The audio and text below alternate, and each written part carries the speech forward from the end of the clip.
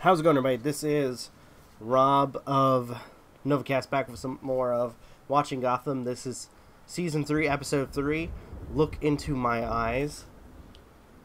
And with this particular episode, they introduce uh, was it Jervis Tetch, if I pronounce that correct that name correctly, or the Mad Hatter, who uses which actually I have to ask for those who are big fans of, uh, Batman. Let me know if uh, what's the difference? Because I thought that in the comics, um, he used more like chemistry, and I think he did use some hypnosis. But for this version of him, he's just using basic hypnosis in order to control his victims.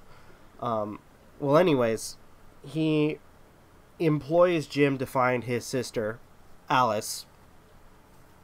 Um, funny enough, and to try to find find out where she is and kind of discover her location. Which we find out she has a, or at least she was one of the experiments for Indian Hill, who has a very strange ability to infect people, and it seems like turn them in some kind of crazed state, which she ends up killing people because of it.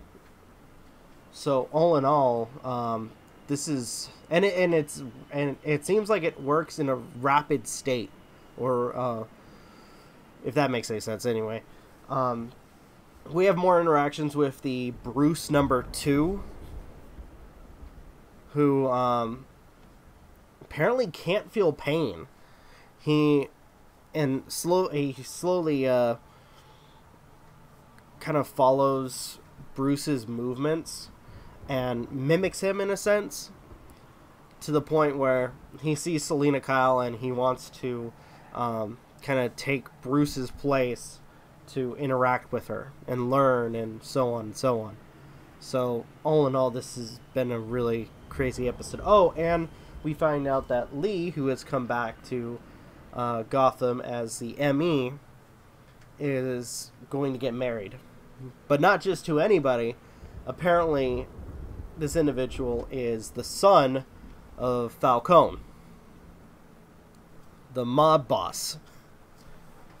Um, so, oh gosh, this is going to cause a lot of drama. I just know it. All right, I think I'm gonna end this video here. Uh, thank you guys so much for watching. Truly appreciate it. If you guys can, uh, please leave a like, comment, share, subscribe, all the good stuff. This is Rob of Novakast signing off. Have a good one, and take care. Peace.